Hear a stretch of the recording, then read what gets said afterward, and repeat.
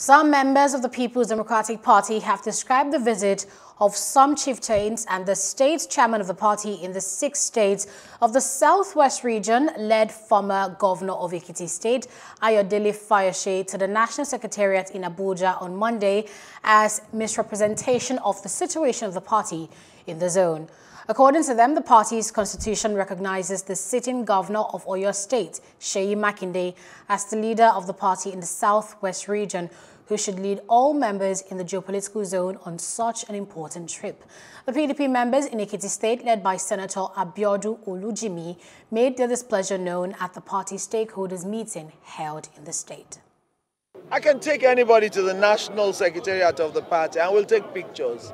What is important is what was said while they were there. Nothing could have been said. The truth is, the former governor does not lead the party in the zone. It is engineer Seyi Makinde that is our leader in the zone. And anything that will happen in the zone has to come through him.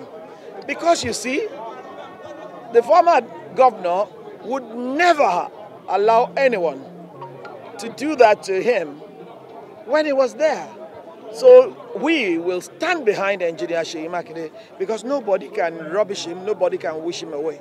He is the leader of the party, and I'm so grateful that we were able last night to publish our resolution at a meeting we held saying that engineer Seyi Makinde remains the leader of the party in the zone, and anything that will come from our zone must emanate from him.